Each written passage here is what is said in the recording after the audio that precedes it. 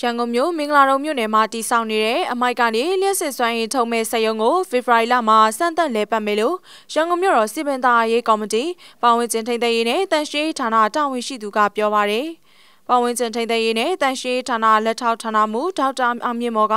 မင်္ဂလာတုံမြို့နယ်ဟာတရက်ကိုအမိုက်တန်ချိန်82တန်ထွက်တာကြောင့်စွန့်ပစ်ထားတဲ့အမိုက်ထဲကမီးလောင်နိုင်မဲ့အမိုက်မျိုးတရက်ကိုတန်60မီးရှို့ပြီးလျှက်စစ်စွမ်းအင်ထုတ်လုပ်သွားမှာဖြစ်ပြီးတရက်ကိုလျှက်စစ်တအား900ကီလိုဝက်ထုတ်လုပ်နိုင်တယ်လို့ပြောပါရယ်အမိုက်ကနေလျှက်စစ်စွမ်းအင်ထုတ်လုပ်တာဟာပတ်ဝန်းကျင်တန့်ရှင်းတဲ့အပြင်ရန်ကုန်မြို့မှာလိုအပ်နေတဲ့လျှက်စစ်တအားကိုလည်းဖြည့်ဆည်းပေးနိုင်မှာဖြစ်တယ်လို့ဒေါက်တာအောင်မြင့်မော်ကအခုလိုပြောပါရယ် အဲ့တော့ကျွန်တော်အခုသုံးထားတဲ့နည်းပညာက grade system hyper grade system သုံးထားတယ်အဲ့တော့အာ stoker super stoker hyper stoker grade super grade hyper grade ပေါ့ဆိုတော့နံပါတ်6အဆင့်မှာရှိတယ်ပေါ့နော်ဒါကြောင့်မို့လို့ဒီအာ hyper grade system သုံးတဲ့အတွက်ကြောင့်တန်60ကိုမိရှို့တဲ့အခါမှာလက်စစ်ထွက်တာဂျပန်နိုင်ငံမှာဒီတန်60ကိုမိရှို့တာလက်စစ်မထွက်ဘူးလက်စစ်ပဲသုံးတာပေါ့နော်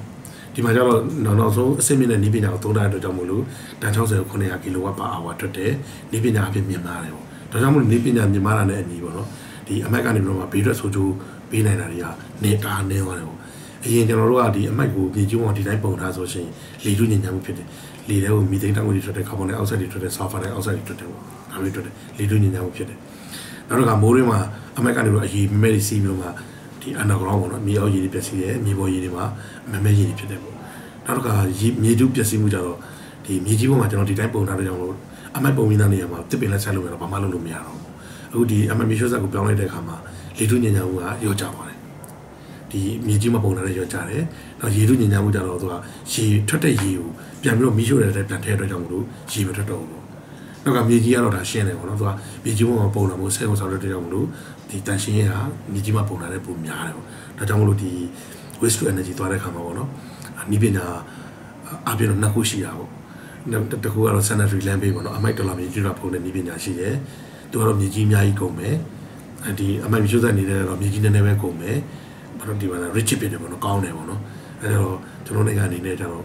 ဒီဒီပြည်နယ်ခုလုံးကိုသုံးသင့်တယ်ပေါ့နော်သုံးသင့်တယ်နောက်ကအမိုက်တွေကိုဒီတိုင်းမြေကြီးပေါ်မှာပုံတယ်ဆိုလို့ရှိရင်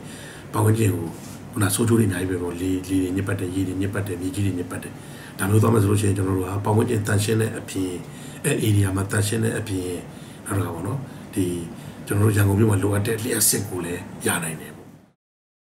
ဒီစက်ရုံကိုနီးပညာပိုင်းအနေနဲ့အစင်းမြင့်နီးပညာကိုအသုံးပြုထားတာကြောင့်ဘေးထွက်ဆိုးကျိုးပေးနိုင်မှုနေပါမယ်လို့ဒေါက်တာအောင်မြင့်မော်ကပြောပါရယ်2015ခုနှစ်အောက်တိုဘာလ17ရက်ကစတင်တိစောက်ခဲ့တာဖြစ်ပြီးမြန်မာနိုင်ငံတန်ရဇာတာနဲ့တဘောပတ်ဝန်းကျင်ထိန်းသိမ်းရေးဝန်ကြီးဌာနနဲ့ဂျပန်နိုင်ငံပတ်ဝန်းကျင်ထိန်းသိမ်းရေးဆိုင်ရာဝန်ကြီးဌာနတို့ကသဘောတူလက်မှတ်ရေးထိုးကဆောင်ရွက်ခဲ့ကြတာဖြစ်ပါတယ်။